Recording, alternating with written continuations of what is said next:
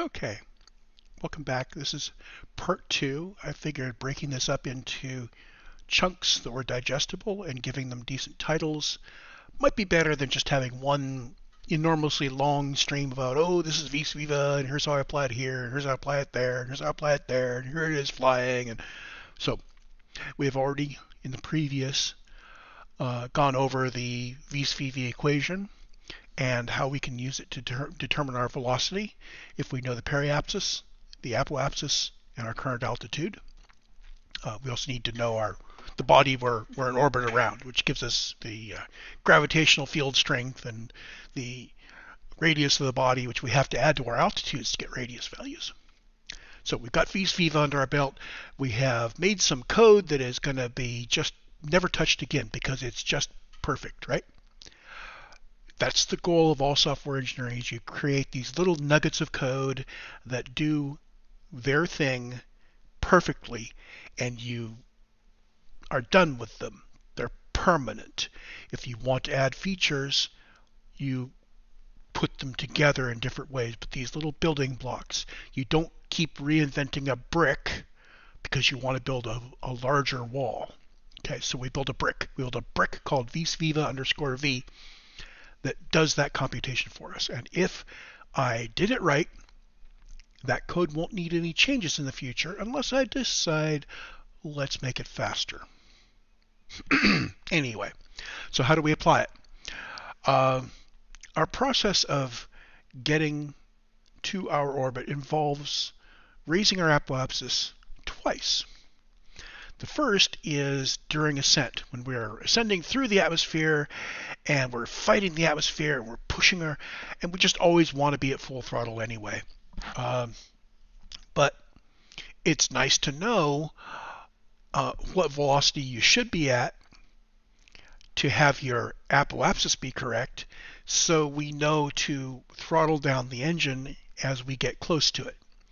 So we could leave it, you know, the old way was leave it at full throttle until you had high enough and then you MECO, main engine cutoff. And then because this is KSP and I can turn the engines back on, I bip the engines now and then to keep at the altitude.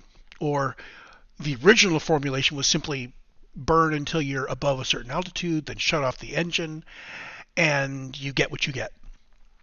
Well, I can use Vis Viva this is my replacement for the ascent phase.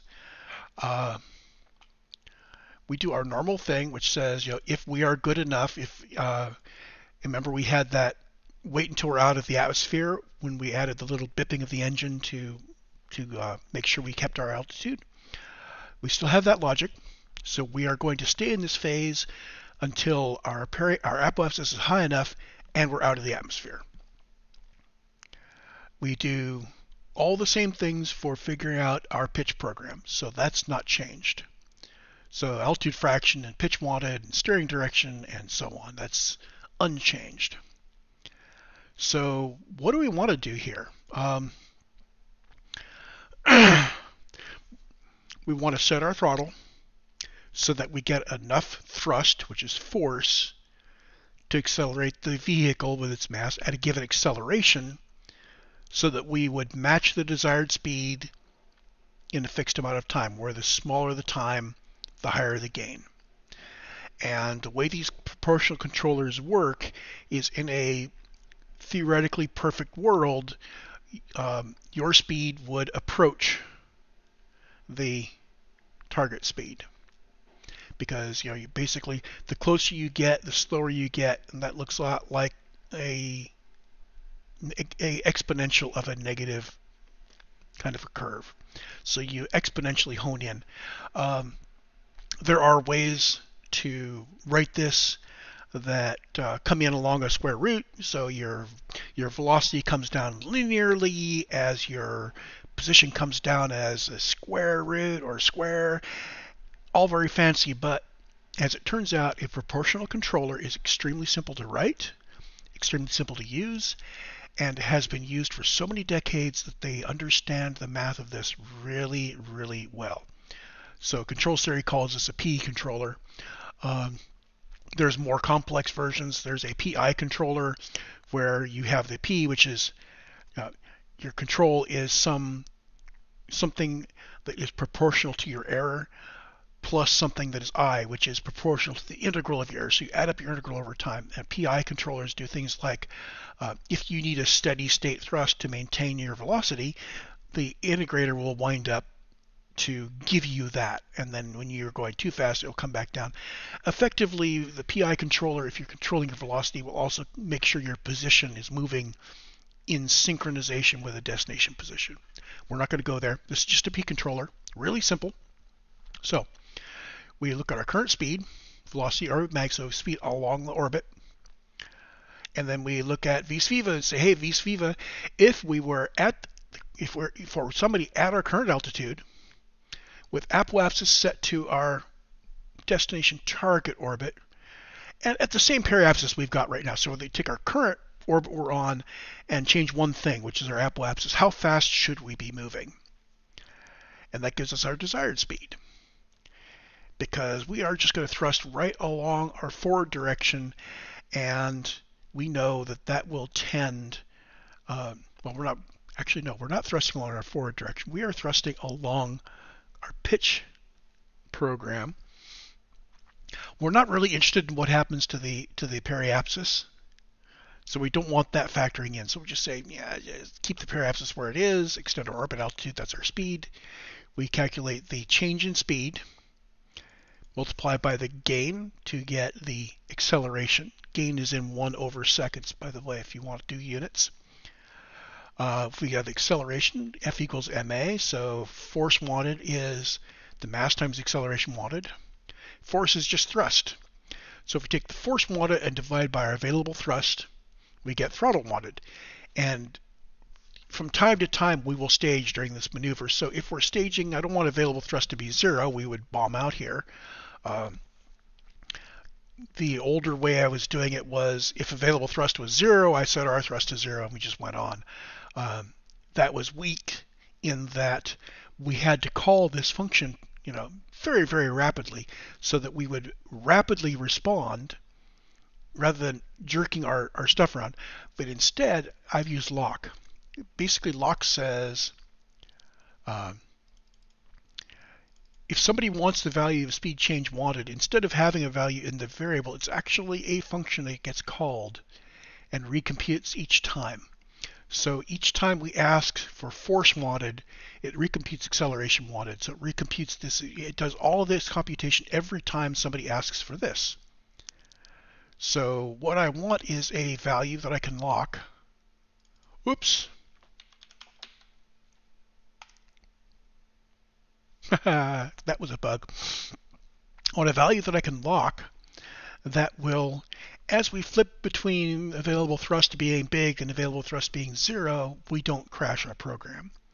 So now we take the force wanted and we divide it by the maximum force available, and that gives us the throttle setting.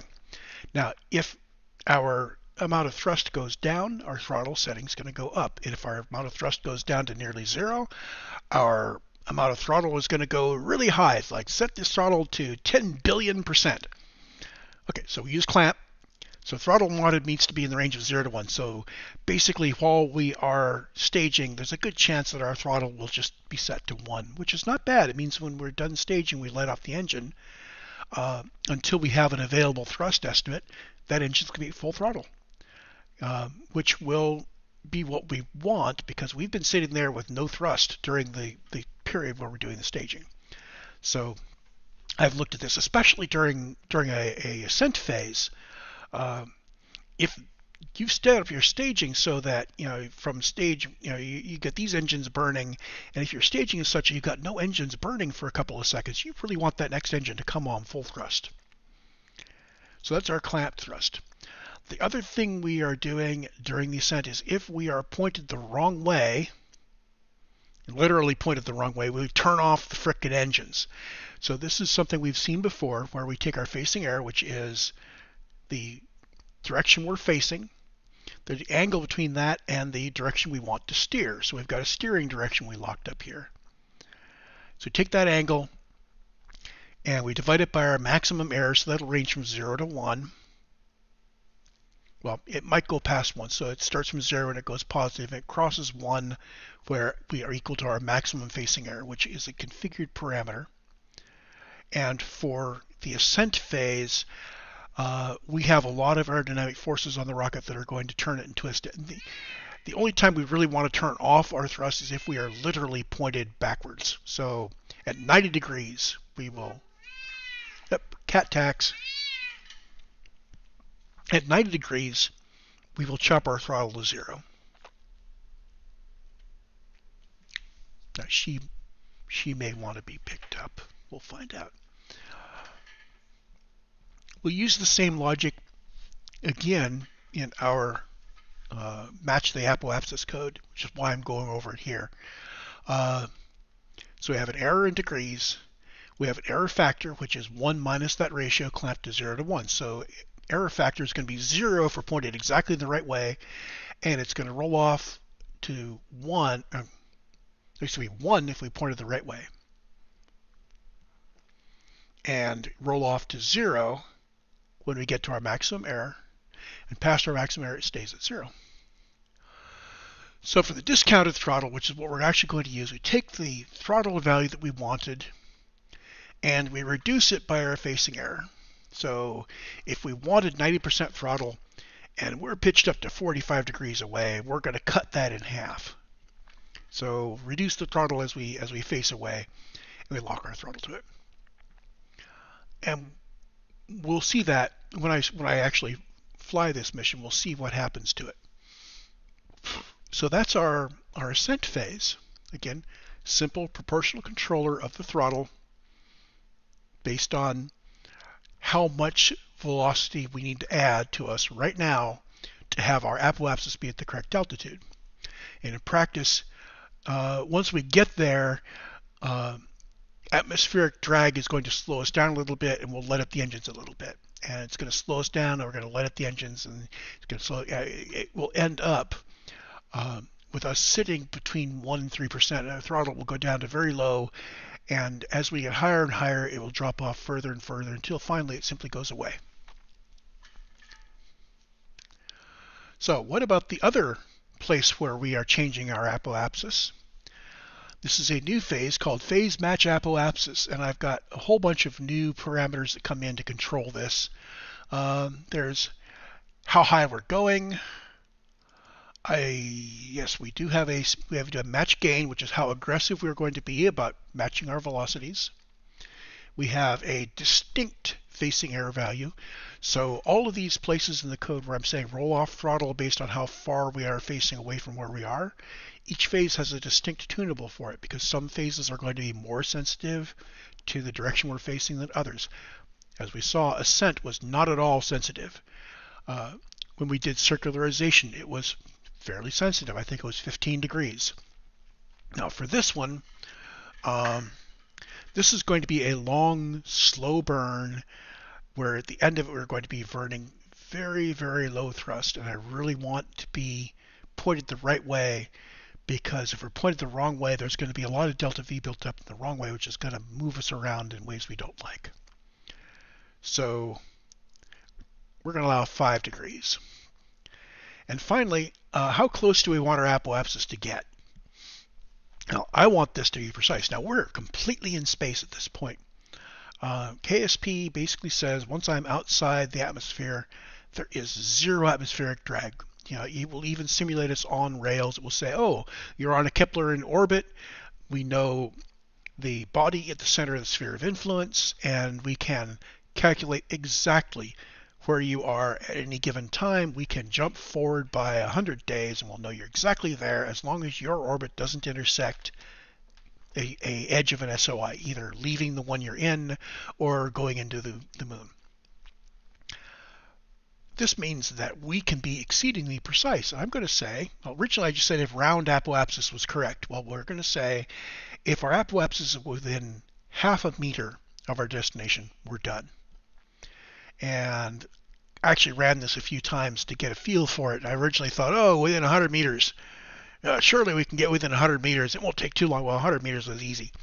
Uh, half a meter, we fiddle around a little bit at low thrust, but we get there.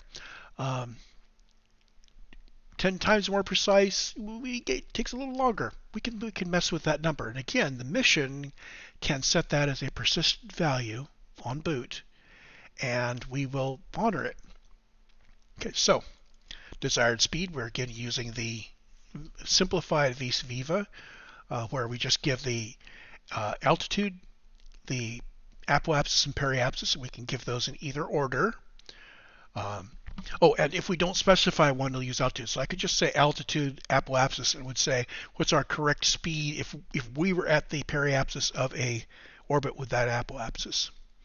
Uh, again, for what we're doing here, uh, I don't particularly care about move, care to move the periapsis, so I am going to just say my correct speed for current periapsis and desired apoapsis and get the viva velocity. Desired speed, current speed. This looks a heck of a lot like the other one. Speed change wanted. They say, oh, looky here. Um, if the apoapsis is above the matched quantity minus the grace, so within half a meter, I'm going to print some stuff. Now, the reason why I did this computation before this is I wanted to print out uh, not just the error in the apoapsis, but I wanted to print out what the error in the speed was. I was curious, and it's kind of a cool thing to look at. Um, you'll see when we get there. If I put that close brace up there, I can tell VS Code to fold that away, and we can see our entire mainline function with our with our little uh, here's how our how our exit here's our exit condition. Fold away the code to do the exit. Now we can see the rest of this.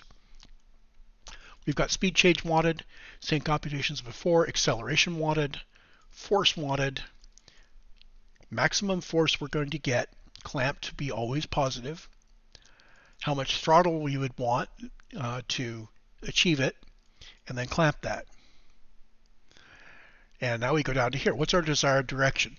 Uh, again, for the ascent, we had a special pitch program. And for this, I always want to thrust prograde because I want all of our energy to go into expanding our apoapsis. I believe for what we're doing, prograde does that best.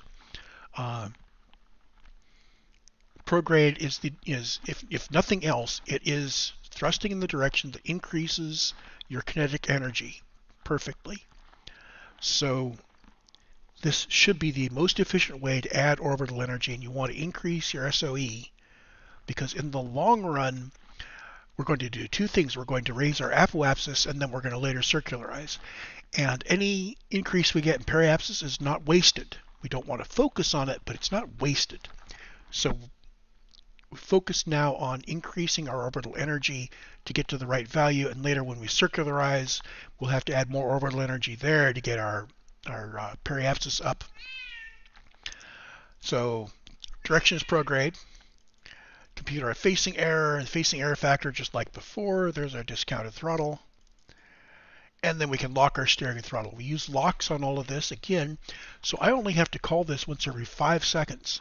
But in between, every time KSP looks at steering and throttle, it will recalculate all of these values. It won't recalculate the termination condition, but it'll recalculate the rest. Oh, the other thing I do is um, if we are actively working here, I'm going to call a support function that uh, assures us that time warp is off.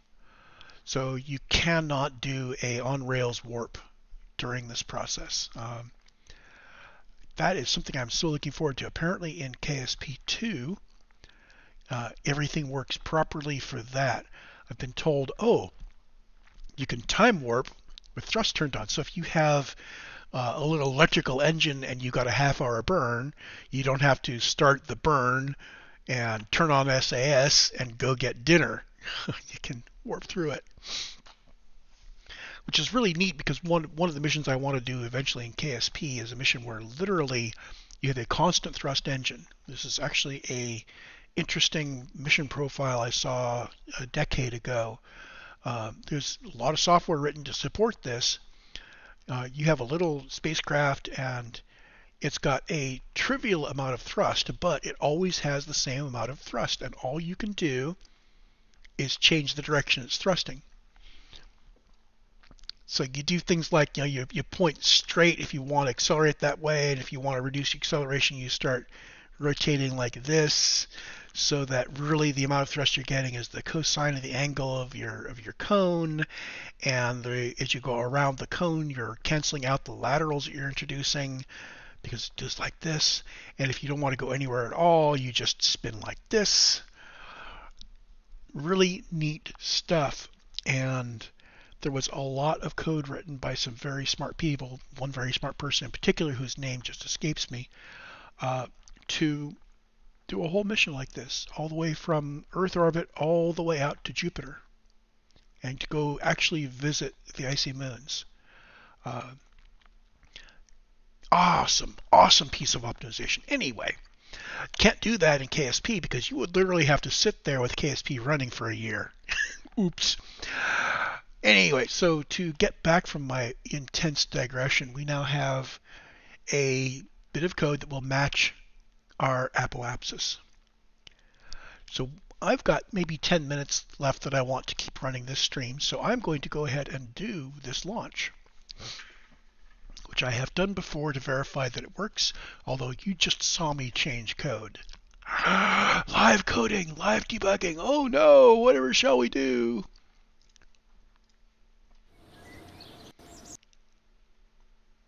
Let's take a look at our vessel before we go. We are flying the jovially hesitant request. Oops, no, we are not. We are flying the quickly concerned tramp.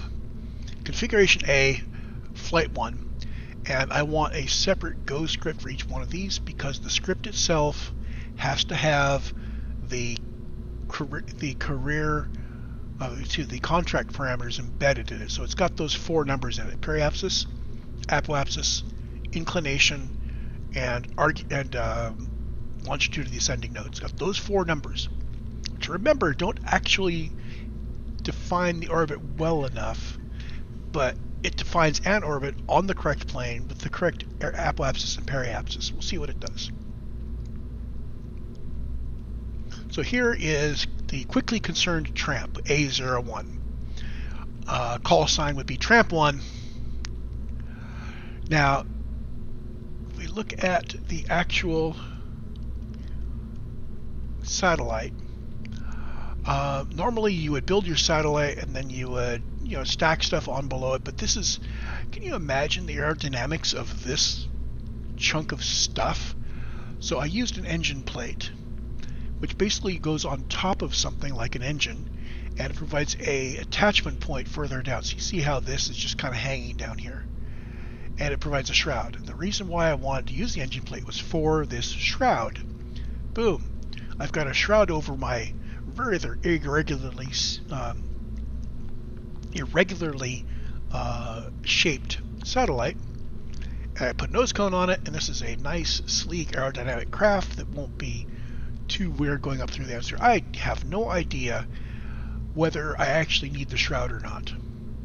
Uh, KSP may may just uh, not look at if I have a nose cone on there, it may just simply not even look at the rest of it, uh, or it might. But the rocket scientist in me, the little rocket science that I learned, and the little of that that I've remained, I've remembered, doesn't like the idea of having that thing showing like that. So we'll, use a shroud. Our staging is simple. We've got a uh, powerful engine at the bottom with some fuel, and this gets us uh, 1,800 delta V, which, as we've seen before, is almost enough to get us up to our parking orbit.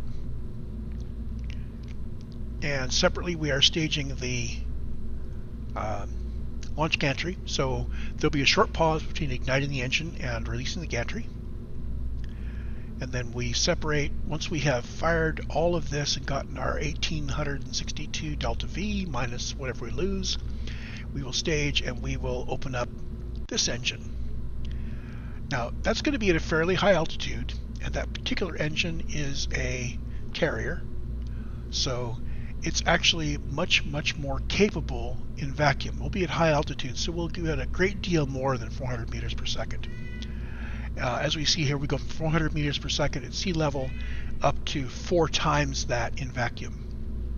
So this engine will actually carry us through uh, getting getting into our parking orbit, and I believe it even has some left after that.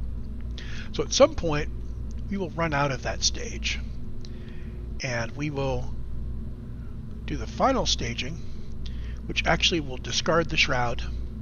Uh, we'll end up keeping the nose cone. Uh, I was going to put in another uh, another separator to separate off the nose cone, but it didn't really seem to make a, enough of a difference. So that'll be our, our satellite. It includes the nose cone and the, and the plate. Uh, and it's got a little engine here. This is a new. This is something that I just had to re, had to uh, open out on research. Um, it is the Spark, which is only 20 kilonewtons. It's one third the power of the Terrier, and it's much smaller. Uh, it's got a really really nice ISP on it. We're running ISP of 320 in vacuum, uh, which is good and efficient. And we've got a couple of small fuel, uh, small engines here. This is more than enough to get us to uh, the rest of the way to our target orbit. And the cat is going off again. Let's put the shroud back on. And let's go ahead and launch.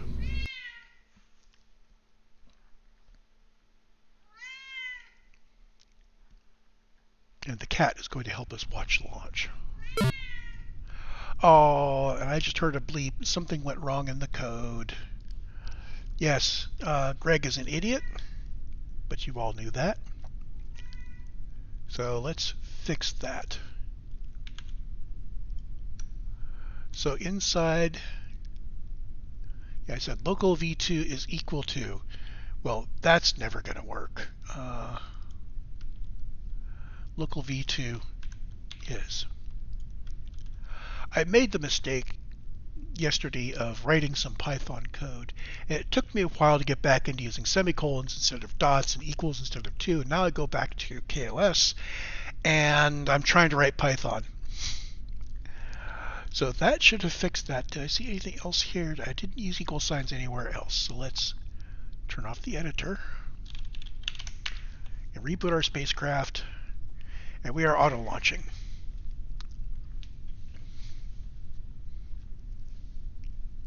I am going to refill my coffee and see if the cat will deign to join us.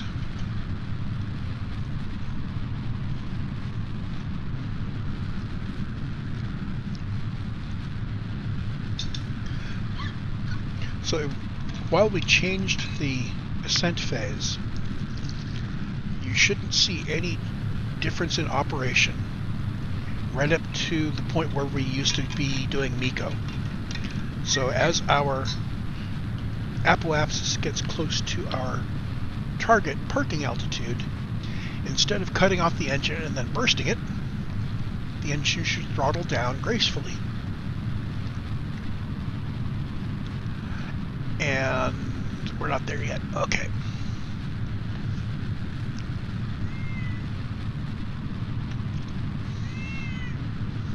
Okay, that's a cat that wants to watch the screen. Go on, Lucy. Oh. There we go. My co-pilot. Lucy helps me write code. I explain how things work to her, and she makes me sit back and read my code and think about it, rather than just blast the code in and try it like I just did. Okay, and there is the equivalent of main engine cutoff. We have throttled back the engines to where we are now very slowly creeping our apoapsis up to the target value.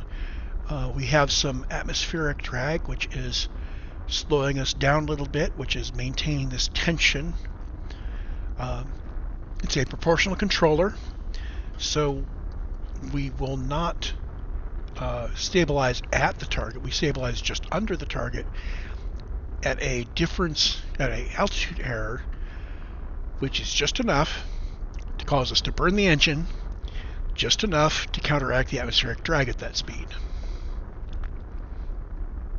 79999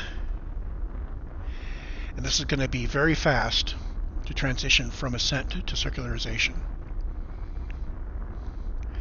So we're about to exit the atmosphere. And there we go, phase coast. So notice we exited the atmosphere, and as soon as our apoapsis hit 80 kilometers, we went into coast phase. And we're basically going to do nothing until the pre-programmed time when we want to actually circularize. And that is in 35 seconds. If I were going to time warp before this, I would stop my warp 30 seconds before. So here we are, we're doing our circularization. Notice the throttle goes up and down as we try to get our nose pointed in the right direction. Our nose is pointed slightly down because our velocities, we're still ascending just a little bit. Circ says circularize at the current altitude. So if you're still ascending, it will try to halt your ascent by including a radial inward component on the thrust. But because there's so much horizontal velocity to make up, it's almost a lateral burn. And now we've gone past our apoapsis, and there we are. And there's getting into orbit. And our circularization is complete. After a short pause, we are now in phase match apoapsis. Notice at the end of circularization, I went ahead and printed the uh, difference between periapsis and apoapsis. So we, we brought them within uh, 13 and a half meters of each other. Good enough for a parking orbit. Their speed error was 12 centimeters. Oh, let's see, no, 1.2 centimeters per second. Our velocity error was very low. But if you think that's low, hold on to your socks. So Match Apoapsis is reaching for four and a half million meters, and it has just achieved it. And now it's just barely, barely shaving. The throttle is so low we can't even see it here. There it is. Phase match complete. Uh, our apoapsis was two tenths of a meter from where we wanted it. And our final speed error was four times 10 to the minus 6 meters per second. Wow. Um, that's 4 micrometers per second. Is a, is a millionth of a meter a micron? I thought a micron was a thousandth of an inch. Anyway, that's a really tiny, tiny speed error. So now we, we are coasting. And that's as much of the uh, delivery system as I have discussed so far on the math. If you look at the at the map here, I probably should have been showing this as we inflated the orbit. It's really kind of cool to see the orbit inflate. In fact, I think I'm going to rewind and do and run it again from the map view. Um, this is Apple app. Oh, before we do that, our apoapsis is 455777. Apoapsis our target orbit is 4557075. So apparently after I printed this here, uh, we did get a change. So I might want to, if I wanted, if I wanted this to be logged exactly, what I would have to do is cut the engines wait a couple of seconds, and then print what the actual final error values were. But it's kind of cool to see what the values were when we made the decision to terminate. So let's do that again from map view.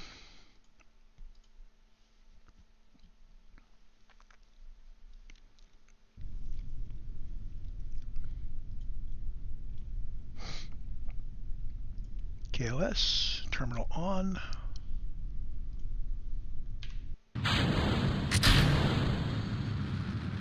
Okay, so here's our starting point. And I've got our our view set so we can see our apoapsis over there. Actually, if I move my terminal to the right, I can zoom this in a little more. And we're actually going to intercept this somewhere further along the apoapsis. if we were really clever, we could have timed our launch so that we joined the destination orbit at its apoapsis. Um, that may be what we need to do.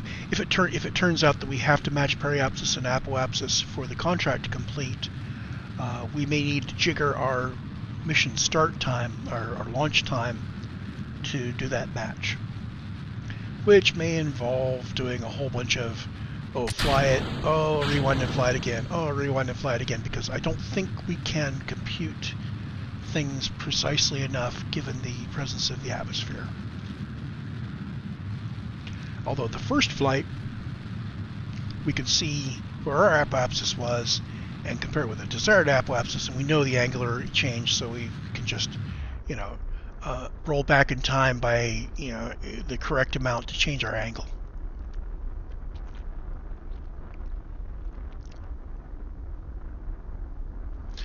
So we're still on the on the ascent, and our launch you see our apoapsis there is reaching our parking orbit.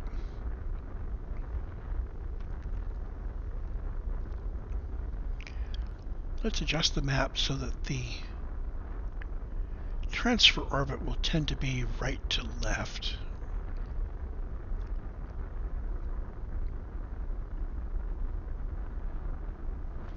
Now bear in mind that the plane of the target orbit is offset from the plane of Kerbin by one degree and the plane of our orbit may also be offset from the plane of Kerbin by so about. So when we pick up again, we're going to be dealing with um, adjusting our orbital inclination. And I found a clever way to do that. We'll see it. Okay, so coasting.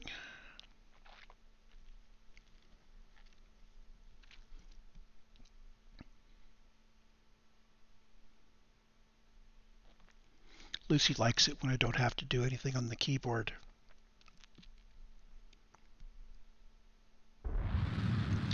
So this stream went long because I decided to do a second flight.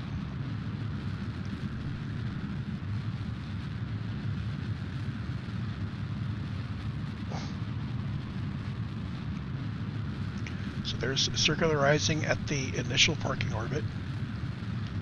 Notice how the orbit is lifting itself out of Kerbin.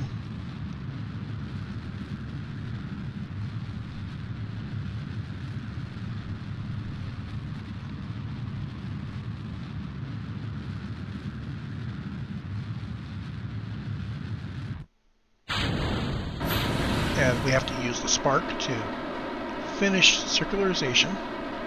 There we go, periapsis is up, and we are circularized. You Notice when we're close to circularization, our apoapsis and periapsis move around. They're not stable.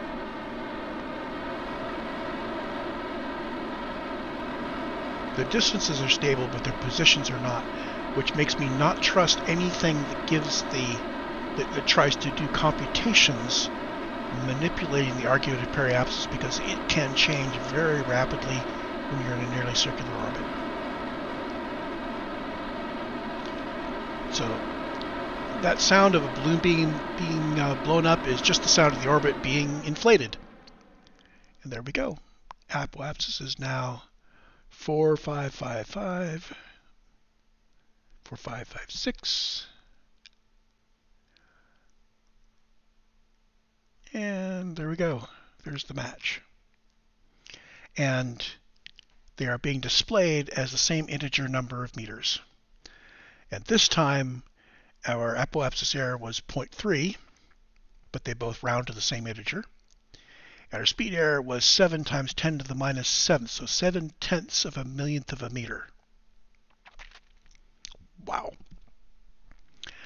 Um, so the rest of this insertion will be coasting up to apoapsis, and then we'll do another inflation. We'll inflate our periapsis out so that circular. So we're going to circularize on orbit. And once we've circularized, then we deal with the fact that these are not all on the same orbital plane. Uh, the error isn't big. Uh, our current inclination is 0.098 degrees. So my current ascent script, which explicitly holds our launch azimuth, does a pretty good job of, of keeping us in the orbital plane. It's off by a little bit. Our target orbit uh, differs by one degree. So there's a descending node there of one degree. So in theory, I believe what we need to do is get into a circular orbit and then adjust our inclination and then adjust our eccentricity to match so we get our periapsis and apoapsis correct. Uh, the numbers they gave me, the contract, could equally have placed periapsis and apoapsis anywhere on this circle. And given that this is a nearly circular orbit, uh, the amount of velocity change at any point on the orbit to change where they are is very small. So as it turns out, from a test flight, I know that once I get the inclination right in a circular orbit, it satisfies the contract. So there will be contracts in the future for more uh, eccentric orbits where we will have to use more logic than what we have to do here. Anyway, so the next phase will be for me to come back with the correct math for orbital inclination changes, which is a whole new set of math, and probably another hour long video. Uh, this has been a half an hour plus 45 minutes, um, and I think we have covered vis viva and using it to control our thrust, our, our burn termination when we are raising our apoapsis to a given target. I think this proves that you can do that very precisely. So um, I'm going to revert this so that when we come back to do inclination, we'll end up flying these parts again so that our inclination code is on board when we're doing it. I will see you then.